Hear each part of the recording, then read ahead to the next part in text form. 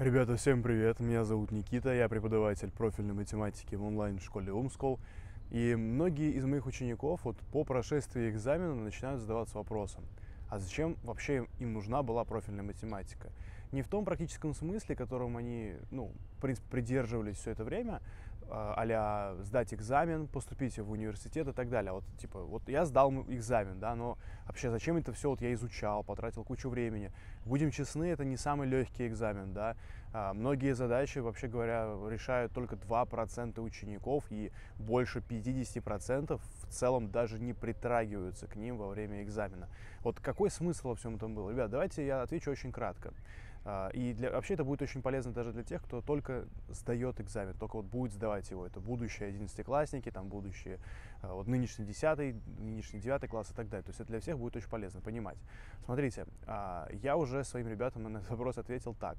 Во-первых, нужно себе понимать, что вот та профильная математика, которую вы сдаете, она вообще говоря, не представляет собой даже и вершины того айсберга, про который там вам будут все говорить во время университета. О чем я говорю?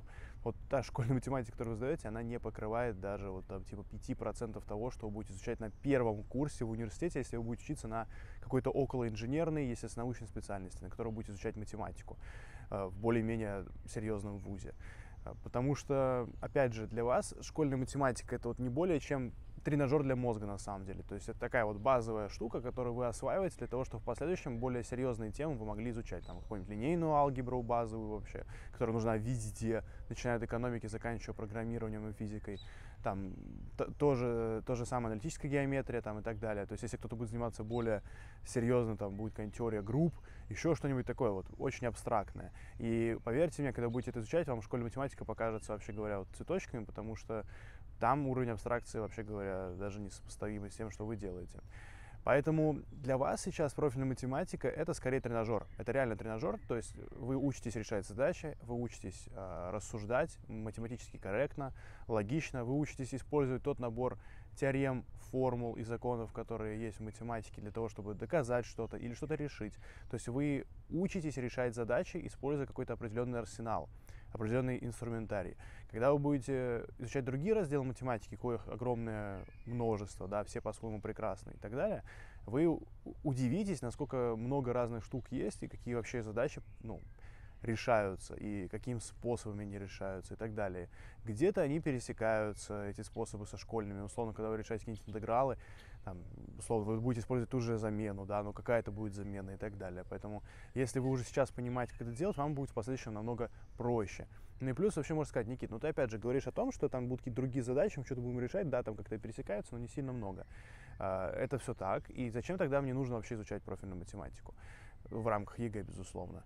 Да, ребят, ну банально, вот сами себе подумайте, сейчас такое время, когда многие задумываются о спорте, да, и самый доступный спорт, на мой взгляд, сейчас это вот там тренажерный зал.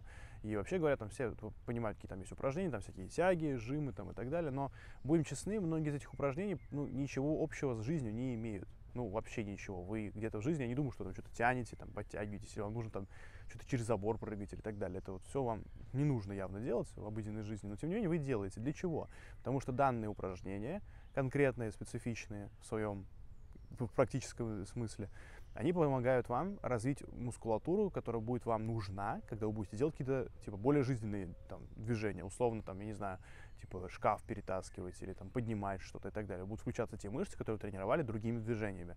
Вот, и здесь то же самое.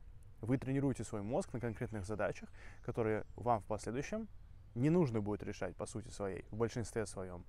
А, ну и плюс ко всему прочему, вы тренируете свой, свой мозг, опять же, для того, чтобы потом решать другие более сложные задачи. То есть вы не можете перейти от более э, сложного к более сложному. Нет, работает так, легкое, среднее, сложное. Вот именно в такой последовательности. Благодаря этому вы реально сможете решать другие, более противные, мерзкие задачи, которые в последующем для вас будут казаться уже тоже более легкими. Потом будете брать другие сложные задачи и прочее. То есть, может быть, вообще вы скажете, блин, а если я не буду, там, вот я сдам профиль математику, вообще иду на экономиста, вот там вообще зачем нужна математика? Ребят, давайте будем честны. Большинство, вот, просто называть вещи своими именами. Вот сейчас то время, когда вот чистые гуманитарии, прям чистейшие, это очень уникальные специалисты, которые ценятся за свои конкретные какие-то навыки, очень сильно гуманитарные. То есть, условно, если раньше был очень популярно вот направление там юриспруденции и прочее. Сейчас оно, кажется, сходит на нет, потому что э, не нужно такое огромное количество людей, банально из-за того, что есть автоматизация документар... документооборота и так далее.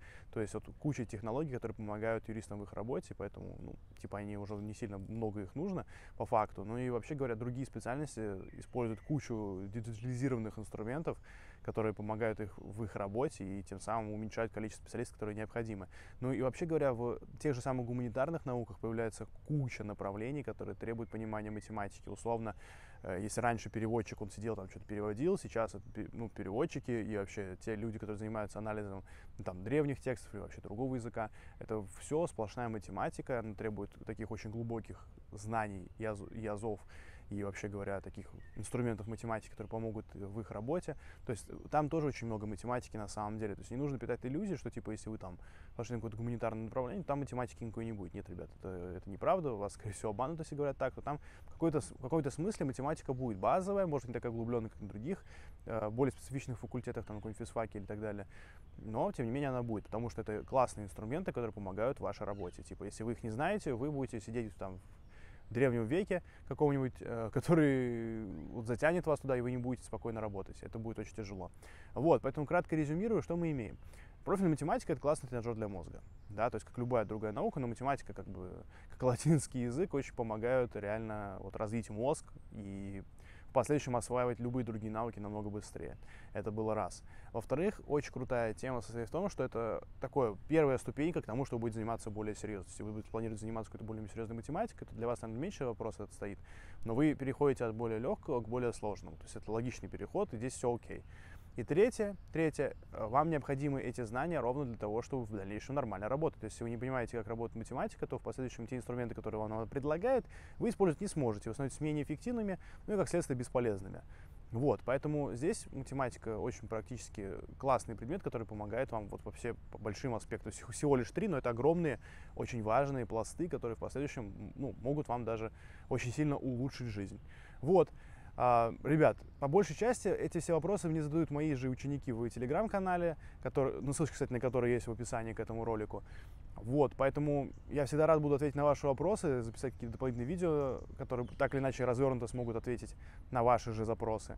Поэтому подписывайтесь, переходите и задавайте свои вопросы, всегда рад с вами пообщаться. А на этом все. Всем большое спасибо, всем пока-пока.